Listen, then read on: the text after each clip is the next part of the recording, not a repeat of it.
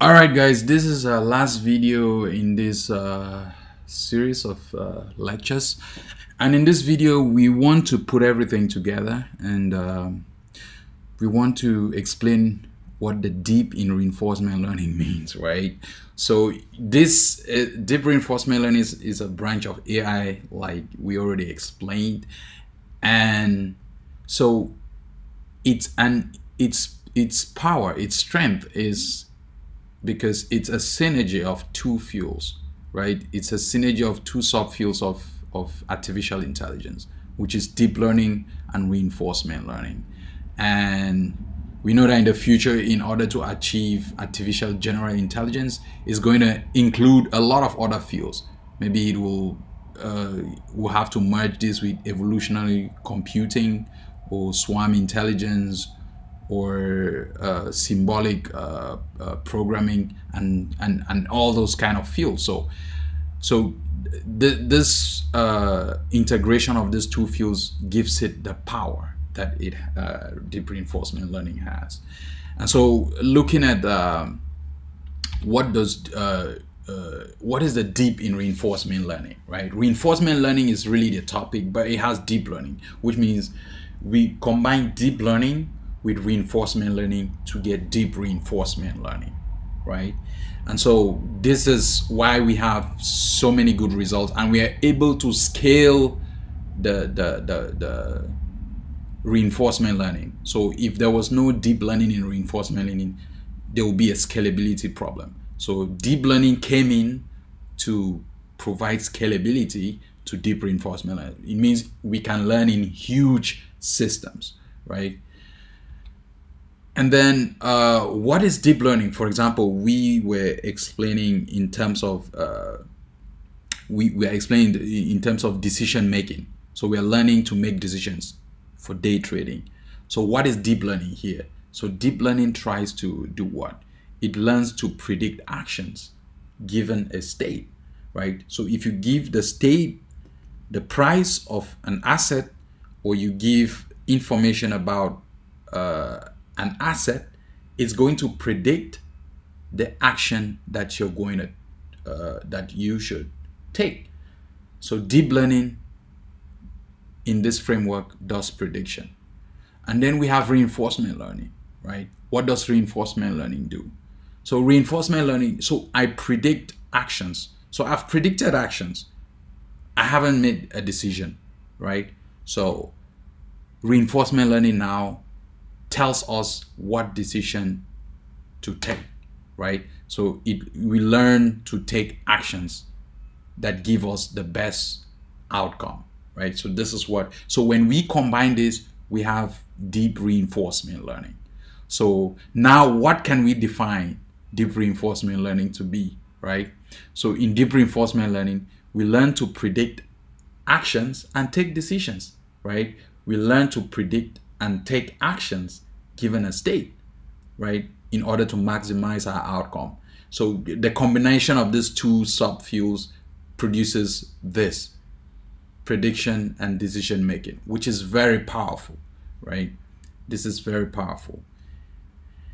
And so uh, we want to uh, look at how we combine deep reinforcement learning, right? So we learn to predict and take actions given a state. So to combine this, you know, in reinforcement learning, you always have an environment, right? So you have an environment, you input an environment. So in an environment, the environment produces a state, right?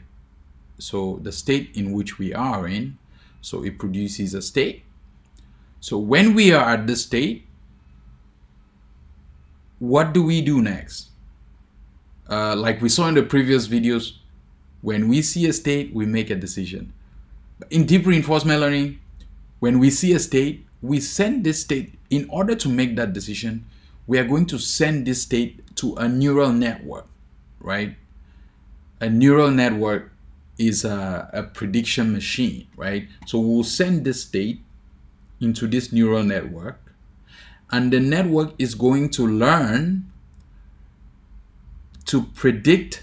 So it's going to take as input our state and it's going to predict the action for us to take, right? So that's what the neural network will do.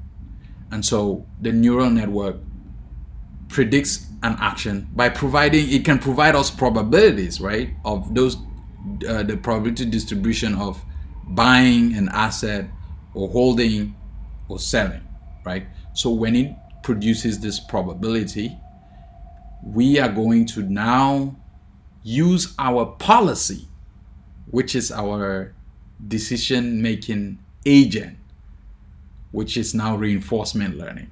So we use a policy to make a decision or take an action. So putting this together, this is what deep reinforcement learning is, and this is how we can express it in its simplest high level form. So this chart tries to explain what deep reinforcement learning is in its simplest level form. So you take, you have an environment. The environment produces a state. The state is sent to a neural network to predict the action to take, and the action is taken by the policy. So this is a high level description of a decision making system and we'll go into details later. So this is the last video in this series and if you like it, please uh, give it a thumbs up and let me know if there's anything, uh, this was not perfect. If you have any questions, you can please just ask me. And in the next series, I'm going to be uh, bringing you the practical session, right? Which will involve the first session will be how to get data, right? Our environment is built on data. We know computers only see data. That's what they see. So we will describe how to get trading data uh, on the internet, right? How to download trading data. And next, uh, after, because this is a very important step. So we'll make a, a series for that to get data. There are different data sources. What is the best and what quality would you get? And after uh, getting the data what do you need to do next? When we get the data we'll use the data to build an environment where we can use existing policies to learn to trade. So um, stay tuned guys. I'm bringing you the next practical session Thank you for watching. Bye bye.